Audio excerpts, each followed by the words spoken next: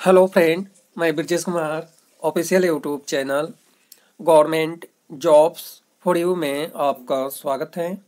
यह video librarian vacancy से संबंधित है और यह जो वैकेंसी हैं, सरकारी नौकरी के लिए नहीं है कंटेक्चुअल बेसिस पे आवेदन आमंत्रित हैं। लाइब्रेरियन का पद है, एक पद है और क्वालिफिकेशन में master of library information science experience में कोहा का ज्ञान होनी चाहिए, यानी कोहा सॉफ्टवेयर जो है, इसका अच्छा ज्ञान होना चाहिए।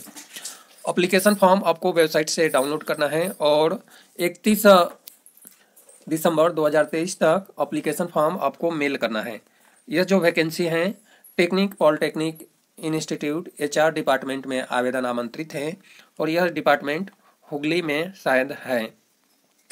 आपको क्या करना है कि एक बायोडेटा यहाँ पे जीमेल आईडी दी गई है। इस जीमेल एड्रेस पे एक प्लेन पेपर पे भी एप्लीकेशन फॉर्म जैसा ही फॉर्मेट बनाकर या रिज्यूम आप सेंड कर सकते हैं।